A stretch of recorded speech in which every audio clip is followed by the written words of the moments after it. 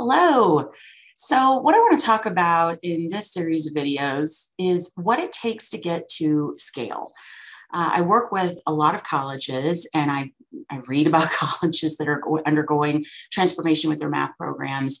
And I've worked at colleges and it's just, I've seen a lot beyond just the ones that I've worked with, you know, and so I'm always thinking, you know, what is it that makes some of them get to scale and others not?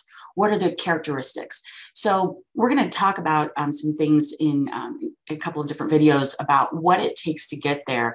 And I think the main thing is uh, um, it's not as simple as we got a grant um, or if there was necessarily um, one person who was really into it, although that really does help. Of course, grants help. Neither one of those are enough, though. There, it, it, it does take more than that. So, what I want to talk about in this video is one of the things that it takes to get to scale for, and and let's define scale.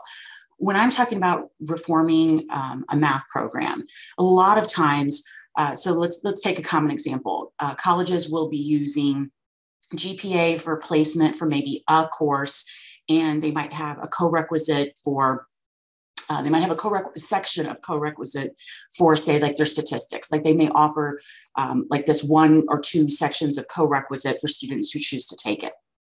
What happens a lot of times is if it's not at scale meaning if it's not the default and it's not used uh, across the board as the you know this is the this is the default. This is the given of what students would go into. If it becomes just an option it often is hard to schedule, it's hard to get students into it. So the idea of scale is we are changing what the given is. And it's not going to be that, you know, everybody starts in like beginning and intermediate algebra. It could be everybody goes through multiple measures placement, which includes GPA, not just students in this particular program or students going into this particular course. It's used much more broadly. Um, same way with like with like co-requisites. It isn't the given that everybody's going to start in beginning algebra. A given is you're going to start in the course, the co-requisite, and only in very small cases would you start in something like a developmental course. And it may be beginning algebra, but often it isn't. So that's what I mean by scale, that it's used that we have some intervention. And that is the key to interventions really moving the needle is that they are used broadly. And it's beyond just a pilot and just a few uh, students and a few sections. It has to really be something that we use. So that leads to the first thing I want to talk about today. One, one really important aspect to get to scale is your culture. And that's a really daunting thing to hear because it's like, how do you change your culture? That's like, that sounds so overwhelming.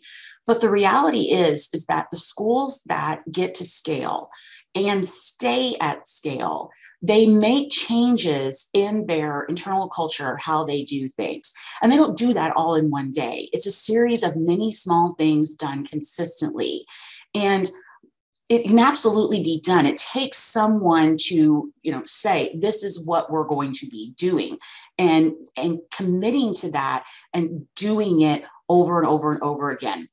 So i'll give you one example of of a cultural change that um, that makes things a lot easier to go to scale. One is how are we regularly going to review how things are working? And by things it could be what are the outcomes in the classes? How are the processes working between student services and faculty and administration like between academics and student affairs? Like how is all this working?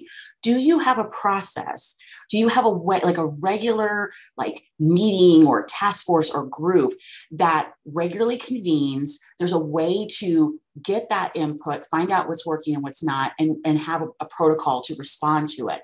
A lot of colleges don't um, it, because it's just not necessarily the first thing you think about, but it's one of those key things. And I think it's because I work with so many schools that I really am like analyzing that now. Like, what is it that you know is the difference and a lot of times it's these little things they seemingly seem like oh that's nothing but meeting once a semester and regularly committing to the idea that we're going to look at whatever data it is qualitative in terms of student happiness or complaints how are staff working with things how are faculty working with things all the way to like what is the data saying so there's i meaning more quantitative data do you have a way to do that And if you don't, the good news is you can create one.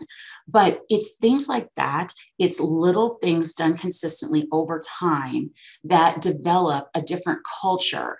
And that's what it takes to not only achieve scale, but maintain it over time. So, in the next video, what we're going to talk about is another aspect uh, that is needed, and it is it has to do with engagement. I will see you then.